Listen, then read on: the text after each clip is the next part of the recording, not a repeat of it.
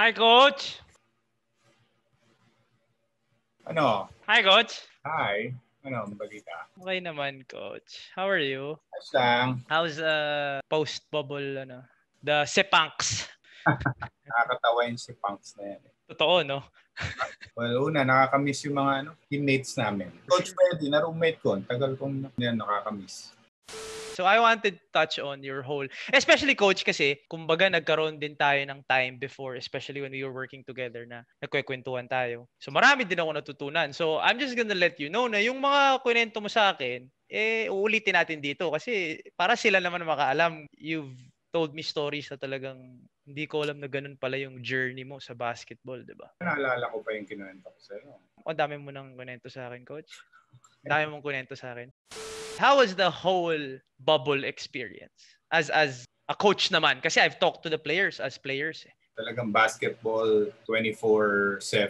During those times na break ka, pwedeng magpatawag bigla ng meeting yung coach, yung mga ganun eh, di ba? You just have to be ready. Pero ang feeling namin doon, para kaming ano eh, OFW, yun yung naramdaman ko. You were away from your family, nagtatrabaho ka, through ano na lang, through uh, FaceTime, mo sila nakakausap, tapos bali-balita, ganun ganun. So parang feeling namin, ano kami doon, OFWs. Uh, alam na namin kung ano nararamdaman nila. Maswerte kami na may trabaho kami. So, two, two and a half months kami nawala. Yung mga OFWs, years sila nawawala from their families. Eh. Yun, newfound appreciation for, for OFWs. Talagang 24-7 si Coach Freddy Abuda. so date talaga kay ni Coach Freddy. Oo. oo. Well, yung players, start of the bubble, may mga roommates sila. Pero nung nag-semis na kami, yung mga players, nagkaroon ng ano, parang part of their incentive yun. Nagkaroon na sila ng kanika nila mga kwarto. Except for the rookies and the coaches. oh, si Coach Freddy talagang ano, kasama ko talagang the whole two and a half months. Pero medyo tumaba ako doon, mga first month. Mataba ka pala? Oo. Ano eh, uh, wala kaming magawa kundi uminom. Ah, yun pala. Akala ko kumain. Ito sa lahat na lang ng PBA player na nakausap ko. Stanley Pringle is, kumbaga kahit si LA sabi niya, kaya daw siya tumatagal ngayon sa, sa PBA dahil kay Stanley Pringle. Eh. Paul Lee said Stanley Pringle is the best player in the league. Kiefer said the same. Poy Eram said the same. Everyone. As a coach, ano yung adjustment ninyo when Stanley Pringle came on board? Aminado, si Stanley's very skilled. Grabe yan eh. In fact, kahit kami na nasa team na kami, there are some moves that he makes during the game na talagang napapa mga eh, di ba? Napapanga ka eh. But when he came to the the team, of course, may adjustment period pa yun eh. We knew that he was very good uh, with the ball. You have to also learn how to move without the ball. Diba? Kailangan marunong ka rin gumalaw without the ball. That's the same thing that happened with uh, Sol Mercado. He understood the game better nung natuto na siya playing without the basketball, moving. May times ba, coach, na time out, okay, wala na nangyayari, oh, Stanley, gusto mo yung bola? Oh, ito na, bala ka na. Kumbaga, there are moments daw na ganun. There are moments na ganun, but actually that's what the coaches try to avoid. I'm sure ikaw ang pinaka-proud kay Scotty Thompson. Kasi kinento ko to eh. I, I called you before I released the kwento about Scotty Thompson being drafted. In your own words, how did you tell Coach Tim na? Kasi sabi mo nga, hindi, hindi, naman kilala ni Coach Tim yung mga college boys. How was that whole Scotty Thompson? From NCAA MVP 2 ngayon, ano na eh, iba na eh. So, fifth pick, uh, Hinebra, our turn to pick. Available si Norbert Torres. After Yeah. fourth, so alam na namin, available si Norbert Torres, as available si Scotty. Ang si Coach Tim was leaning towards a bid. Siya. So, tinanong niya kami. Well, nakausap ko sila lahat eh about Scotty. Most of us, or oh, na sinabi na Scotty kami, eh, outnumbered yata siya. so, pinili si Scotty. Yun, and then during practice, he was so surprised dun sa mga uh, strengths ni Scotty that, you know, he compared him to Johnny Abarientos. Punta tayo coach sa playing career mo kasi this is lahat na pinag-usapan natin kanina nakikita naman sa TV. Yung playing career mo, like when did it really start for you na seryosohin ko na to? Late na yon ano, college na ako nun. So high school, enjoy ka lang.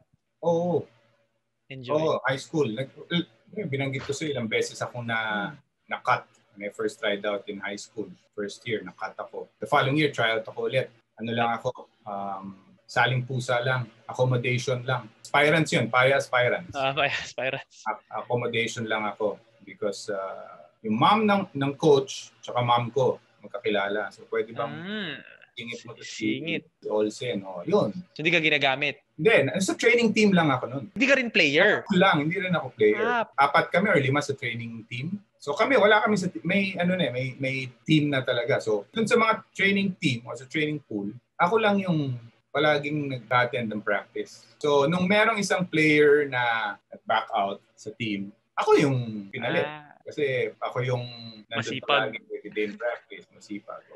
Doon, doon na nag-start yung ano ko, varsity career ko.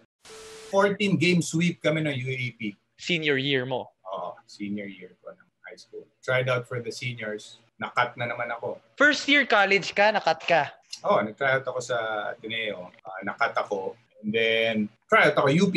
What? So nag-try out ka ng Maroons? Ng, 1987. So the year after mag... The championship. Oh, after year na after. Nandun pa Oo. si Coach Ronnie, magsanok. Wala na. Wala na si Coach Tony. Si Benji ang nandun pa. Benji, Joey Guanyo. Ricky Ah, Ronnie, Ronnie, sorry. Ronnie Magsanok. Andun pa. Bo Perasol. O si Bo ang kabatch ko yun eh. So nung nakat ka na nung summer, papasok ng first year, ng freshman year mo, Oo. nung nakat ka, punta ka UP, try out. Oo. Ano nangyayari? Ba't di ka napunta sa UP? Kinat din ako eh. Kilat ka din sa UP! When you entered the draft, you were the 14th pick. Sabi mo, di ba? 14th Yes. pick. Ang ang nag-draft sa akin si Coach Chot. Yeah. Siya rin yung very first coach ko sa Tineo, nung Paya. Yung accommodation. Si Coach Chot pala yung accommodation.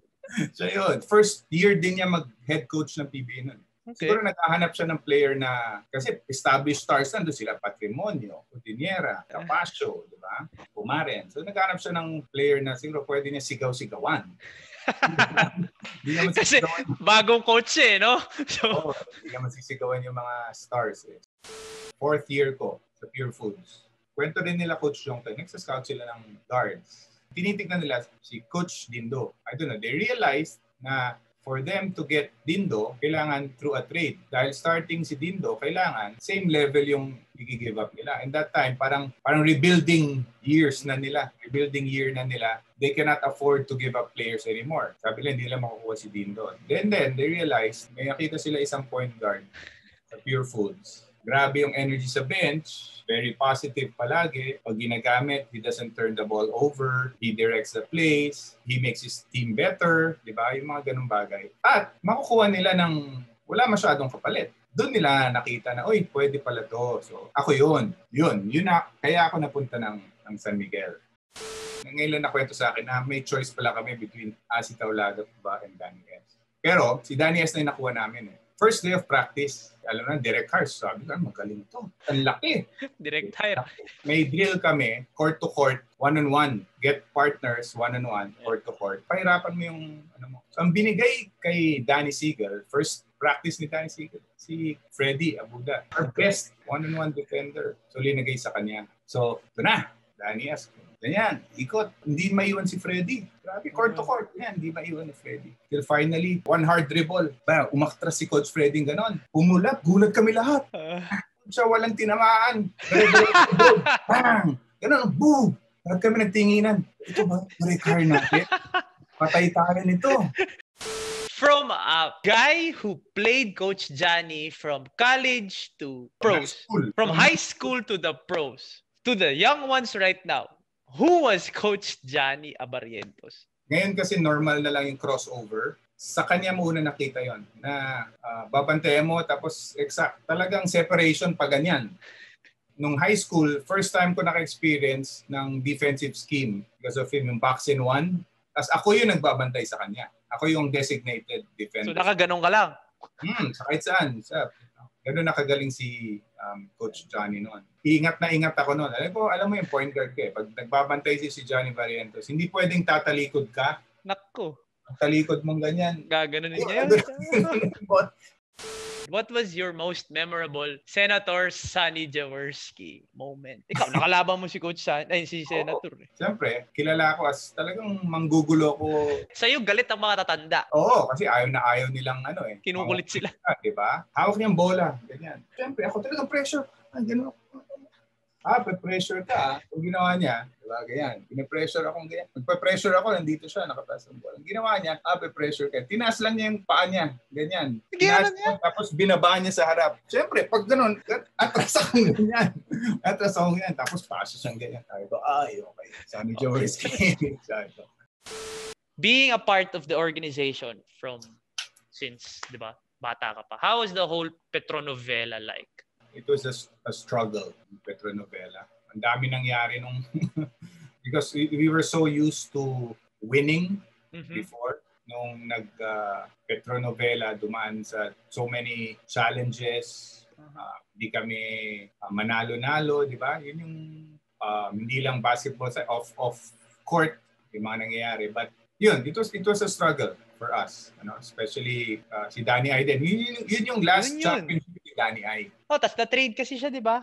Oo. That was part of Petronovela. Like, why would you trade? Oo. Tas different coaches na ang nagpumasok eh. Pati ako, nag-coach ako nung time na ng Gia Vanilla. G- B-Boy, B-Boy Ravanes. Oo, Todd, Todd Purves. Todd Purves. Kami ni Coach Raiko. Like when you were the coach, how was it? I was, ano yun eh, um, aminado ko na, that time I was I was not ready. How is that how is that whole coach team experience na I Grabe. can only imagine. You, you realize that you still have a lot to learn. Yun yung ginagamit ko ngayon when I coach sa FEU whatever I learn, dito ko ina-apply. And sometimes, may mga pinapasok ko sarili ko na. Not just ano basketball related. Si Coach Tim kasi father figure, he's, he's a life coach. Kumbaga, he's a disciple of John Maxwell. Kailangan yan sa mga bata eh. Diba? So yun, ina-apply ko yun. Plus the fact that, you know, he has won so many championships. So kailangan makinig ka talaga sa mga sinasabi. Ilan naman championship mo, Coach? As a player, nine. As an assistant coach, uh, eight yata. Eight ka na sure? Ha? Hindi ka na sure? 17. 9. So 17. Ilan doon ang kay Coach Tim? Since Sinebra, every year nanalo kami. Oh, sabi ni Ella yan eh, pinayaman daw siya ni Coach Tim. Semi-final game. Knockout. Yeah. Whoever wins there moves on to the gold medal game. That team, from what I recall, really was built to play Korea. Hindi nakalaro si Danny S nun eh. So that would have been a, a different um, story kung naglaro si Danny S nun. But But yun, yun yung situation. Semifinals against Korea. Yeah. And then